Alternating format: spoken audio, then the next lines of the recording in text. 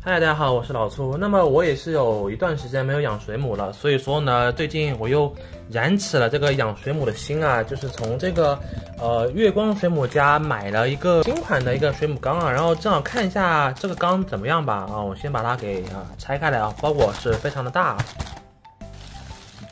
哇，行，拿出来啊啊，一个椭圆形的一个小的一个缸啊。呃，我们把它拆开来，然后把它洗一下，看一下这缸到底是怎么样子啊？这种缸我也是第一次接触过。好，我们现在来看一下这个缸的里面的一个构造啊。好，我们开开它的盖子。好，这里是有很多电线啊，电线我们把它先抽出来，两根线。这这这这这，哎，它是怎么绕的？哎，哦，这个是灯，来看一下。我们把它这个线先绕出来，有点绕。啊啊，这样绕。啊，我们可以看一下这个灯啊。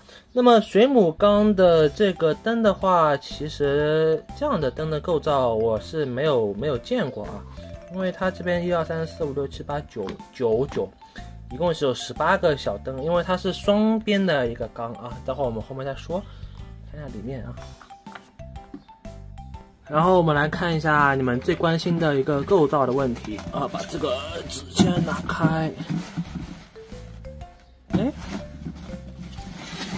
哦，啊，这个没有用的东西啊，看一下它里面啊，这个是一个呃细菌球吧，啊细菌球，然后这个是应该是那个水泵，哎呀出来了。啊，水泵的一个电源插座，这个没什么好说的。啊，很一股很重的那个胶水的味道啊！这是个滤棉啊，滤棉 OK。然后是遥控器，遥控器比较比较小巧的一个遥控器，刚吃好早饭。然后这个应该是遥控器连接的一个东西，来根线，加上一个合格合格证啊，合格证。好，我们来看一下它的构造啊。首先，我们看到它这边是有左右两个，那说明什么？这个缸是可以养两种水母啊，没有错。市面上大多数的缸，它基本上只能养一种水母，相信你们都知道。然后，它应该是把这两边啊，把它给隔开来了。然后呢，可以实现这边，比如说你养大西洋，这边你或者养海月、赤月都是可以的。然后构造的话，这边的两个雨林喷管啊，雨林喷管。这边也是一个雨林喷管，加上这个小水泵，它的设计啊，它是把这边一个水泵的设计，把它分成两路，这边中间隔开来了，你看到吗？这边是一个分叉口，像个剪刀一样，像个 U 啊，一个 U 型的一个过滤啊，看一下啊，比较透明啊，啊，对吧？然后呢，它的喷水应该是从这边有很多小洞，是吧？这边很多洞。那么总体来说，这里也有很多洞，它就是这里喷水出来，就形成一个这样的一个循环的一个过滤的一个系统。哦，我个人来说还是比较喜欢这样的一个设计啊，因为像我比较想养多种水母的话，或者是说你投食嘛，你这边大西洋，对吧？大西洋那么吃海月比较好，你可以这边放海月水母，好吧？这里是一个过滤区啊，忘说了，我看看它这边是不是通透的啊？我们把手伸下去看一下。哦，好像是通的。哦，不对，它这边是封死的。那么其实这块区域的话，后期有可能会养一些小虾、小蟹啊什么的。因为放滤棉，我个人觉得没有什么太大用处。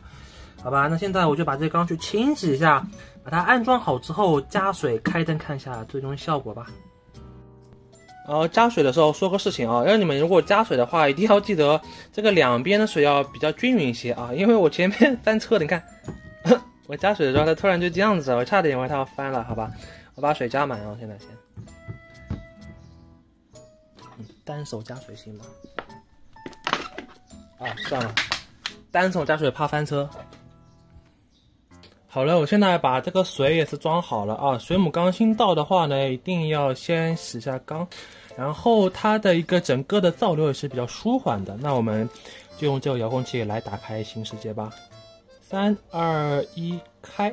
哎，然后我发现哦，这个缸它的一个灯非常的微妙，看到它这边是一个蓝色的灯，然后这边的话就变成紫色。那么我不知道它是不是这个遥控器可以两边都控制颜色啊？我们来先试一下，啊这边调紫色行不行？哎，哎，好，这边按了就没反应，那这边按的话会变色，我们按调成红色。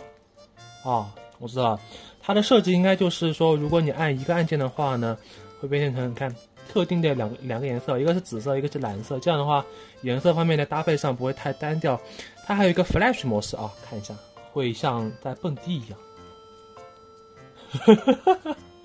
是吧？好的，现在我们来看一下我这个缸目前的配置啊。首先，它因为是这个双圈嘛，然后在右边的话，我打算是啊，在这边的话，我是放了一块活石，然后呢，这个活石下面藏了一个东西，就是这个玩意儿，哎，你看到吗？哎，这个玩意儿叫做荔枝鹰啊，因为它很凶，所以说，而且说非常的。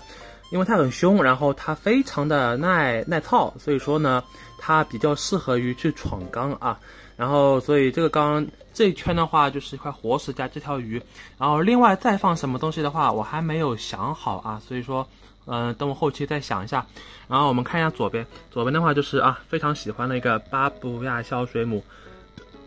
它目前的话，这个状态还算比较好的啊，但是这个的话，我不知道它能不能够缓过来啊。如果说缓不过来的话，就也没有办法，因为他们刚到家的话，所以我可能去考虑一下喂食吧，好吧？我正好给你们看一下它喂食吧。呃，暂时来说，这个缸，你别看它只有十三升哦，其实还还是蛮大的。这个巴布亚大概有这个三公分、四公分大了啊。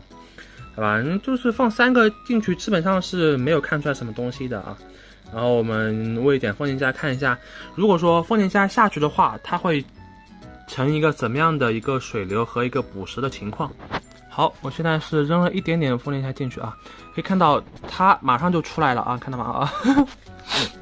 来看一下，对吧？它马上就跑出来，就是来吃这个风铃虾了，非常的好玩啊。因为这个荔枝鹰的话，它也是肉食性的嘛。它现在非常激动，说：“哎，我操，终于给食物吃了，这样子啊，嗯，就仔细的看一下，等一下这个水母啊会怎么样？包括说它后面这个，呃，等白天拍吧，因为现在是晚上啊，我们就来看一下它这个水母的一个抓捕食物的一个情况啊。现在的话水流应该还可以，然后我看见他们的这个触手上面好像已经有粘了一些丰年虾上去了，好像。”对，然后不明显，粘了一点点上去，所以我也不敢放多啊。因为水母刚到家的话是需要这个缓冲一下的，水流的话也是比较适中啊。观察一下，近哎抓住了，能看到吗？就是红红的一些东西，就是抓住了，可以可以可以。啊，它的话也有的吃，好吧。然后这个缸呢，暂时来说。目前我还是觉得这个缸没有什么比较明显的一个缺点啊，然后我准备就静养几天来进行一个正常的喂食，来再过一周来看一下这缸到底说有没有什么缺点，来再给你们更新一下。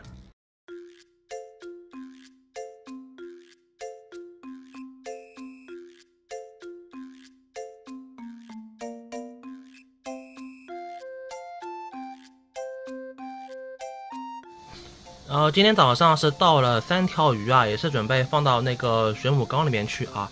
呃，状态现在还可以啊，你看，对吧？就没有什么，哎呦喂，因为现在的话颜色会有些淡，这条比较害怕。然后我比较喜欢是这条啊，这个叫做双色草莓，因为它那个颜色是两个颜色嘛，加上哎呦，你看。这条三十五块钱吧，还比较便宜啊，好吧，我们把它过下水，然后放到我那个水母缸里面去看一下缸的一个实际效果，肯定会非常好看。哎，这小丑鱼是在吃东西吗？我们把它放进去。好的，现在这个鱼我是放进去了，然后看到它们现在的呼吸的话是比较急促的，因为可能是刚进缸的关系啊。呃，然后这边的话去换下水吧，水里面有些这个原来这块石头上这个带的这个垃圾啊，我们看到这两条小鱼。还可以啊，然后这条双色草莓的话也是很这个惊恐的待在这个左边啊，相信过会儿时间的话呢，它们就会恢复，然后在这个缸里面比较开心的去游了。啊，我们我们看，哎，你看，他们俩好像这关系比较好啊，就现在好像还看不出这个公母吧，啊，我们就再等一会儿时间吧，到晚上看一下他们的情况。好，我们先来看一下小丑的情况哦。小丑是已经啊比较适应了这个环境啊，然后后面这个双色草莓的话呢，也是哎，刚想说它它进去了，也是比较适应这个地方啊。那这样小丑，呃，不知道他们能不能够配对吧？至少发现说没有发现太大太大的问题哦，就是你要这样说问题的话，可能就是它的一个清理的一个过滤槽会比较的麻烦一些些，因为它的清理槽会比较小一些吧。按其他的话呢，其实还可以吧。啊，还是比较推荐你们去购买的。如果说真心是喜欢养水母的话，那么价格的话，我再说呗啊，到手只要六百块钱左右的样子就可以拿到手了，还是比较划算的一个价格，好吧？那视频就先到这边了，后续的话呢，会更新一下这缸另外的情况。哎，这个草莓它出来了啊，那我们就下期见，大家拜拜。